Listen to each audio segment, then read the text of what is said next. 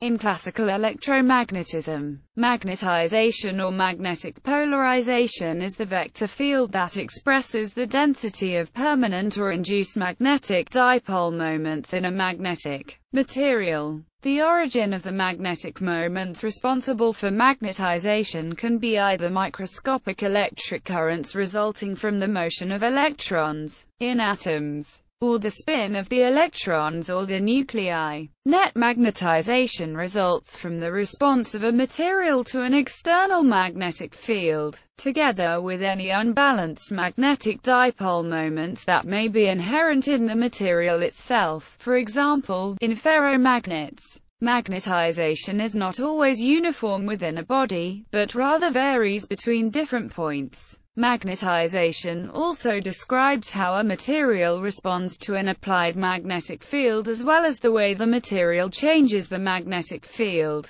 and can be used to calculate the forces that result from those interactions. Physicists and engineers define magnetization as the quantity of magnetic moment per unit volume. It is represented by a vector m. Definition the magnetization field or M field can be defined according to the following equation, where dm is the elementary magnetic moment and dv is the volume element. In other words, the M field is the distribution of magnetic moments in the region or manifold concerned. This is better illustrated through the following relation, where m is an ordinary magnetic moment and the triple integral denotes integration over a volume. This makes the M field completely analogous to the electric polarization field, or P field, used to determine the electric dipole moment P generated by a similar region or manifold with such a polarization, where dP is the elementary electric dipole moment. The M field is measured in amperes per meter in SI units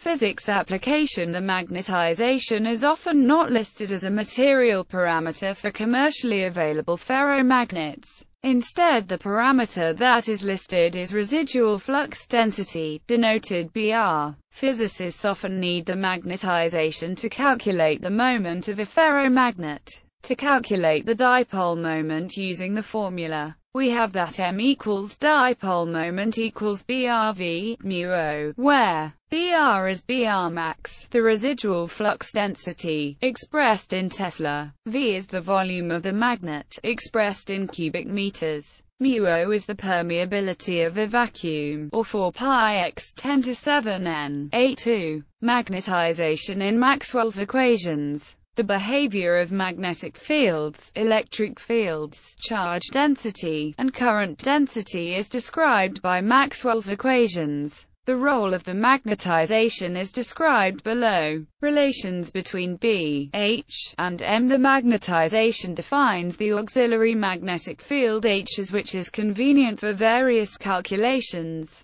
The vacuum permeability mu0 is, by definition, 699340000000000000000 4 times 10 minus 7 vs. A relation between M and H exists in many materials. In diamagnets and paramagnets, the relation is usually linear, where Chi-M is called the volume magnetic susceptibility. In ferromagnets there is no one-to-one -one correspondence between M and H because of magnetic hysteresis. Magnetization current The magnetization M makes a contribution to the current density J, known as the magnetization current or bound current, and for the bound surface current, so that the total current density that enters Maxwell's equations is given by where Jf is the electric current density of free charges. The second term is the contribution from the magnetization, and the last term is related to the electric polarization P. Magnetostatics in the absence of free electric currents and time-dependent effects.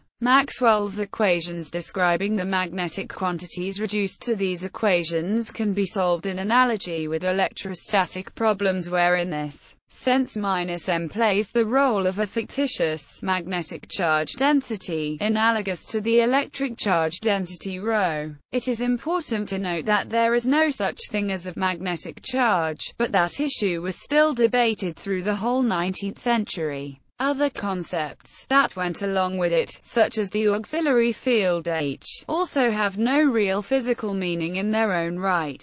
However, they are convenient mathematical tools, and are therefore still used today for applications such as modeling the magnetic field of the Earth, magnetization dynamics, the time-dependent behavior of magnetization becomes important when considering nanoscale and nanosecond timescale magnetization, rather than simply aligning with an applied field. The individual magnetic moments in a material begin to precess around the applied field and come into alignment through relaxation as energy is transferred into the lattice. Reversal. Magnetization reversal, also known as switching, refers to the process that leads to a 180 degrees reorientation of the magnetization vector with respect to its initial direction, from one stable orientation to the opposite one. Technologically, this is one of the most important processes in magnetism that is linked to the magnetic data storage process such as used in modern hard disk drives. As it is known today, there are only a few possible ways to reverse the magnetization of a metallic magnet. An applied magnetic field, spin injection via a beam of particles with spin, magnetization reversal by circularly polarized light, i.e., incident electromagnetic radiation that is circularly polarized, demagnetization.